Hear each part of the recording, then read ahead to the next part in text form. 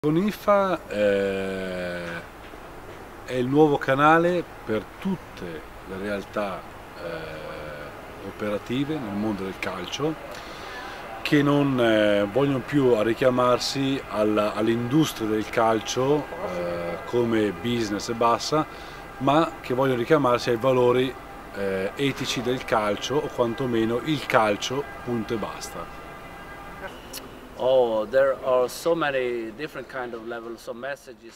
Vi sono molti messaggi che con IFA vuole trasmettere. Prima di tutto vogliamo unire il uh, mondo, coinvolgere le uh, genti che non sono rappresentate nella FIFA, creare un senso di fratellanza educando sull'importanza di ogni uh, popolazione che vive sulla Terra.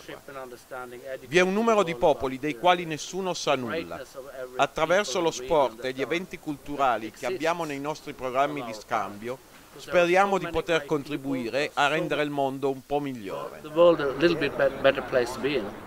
Quindi possiamo dire che dal, dall'inizio del nostro lavoro, cioè da settembre scorso anno ad oggi, abbiamo fatto 14 formazioni attive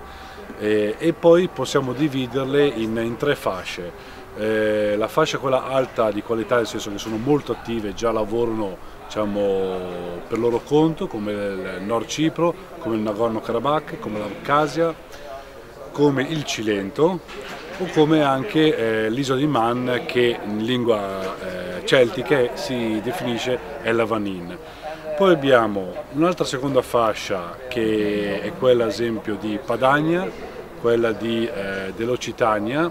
o quella della Lapponia che sono, devono passare dal concetto di scatola vuota, cioè una squadra fatta solo per un evento, a un, eh, un, progetto duraturo per il proprio territorio dove deve coinvolgere gli operatori che vanno dai eh, giocatori, agli allenatori, agli arbitri, ai, alle aziende che credono in questo progetto, che vogliono differenziarsi dal canale classico business ma eh, entrare in un'economia di slow economy. E poi abbiamo altre, eh, diciamo un altro filone di nuove formazioni che non erano mai esistite, come può essere la Franconia, come può essere l'Eligoland, eh, come può essere anche Monaco che da, ultimamente sta facendo dei, dei match amichevoli uno è stato il 6 di aprile sull'isola di Man, il secondo match amichevole lo farà in Vaticano giù a Roma contro il Vaticano il 10 di maggio,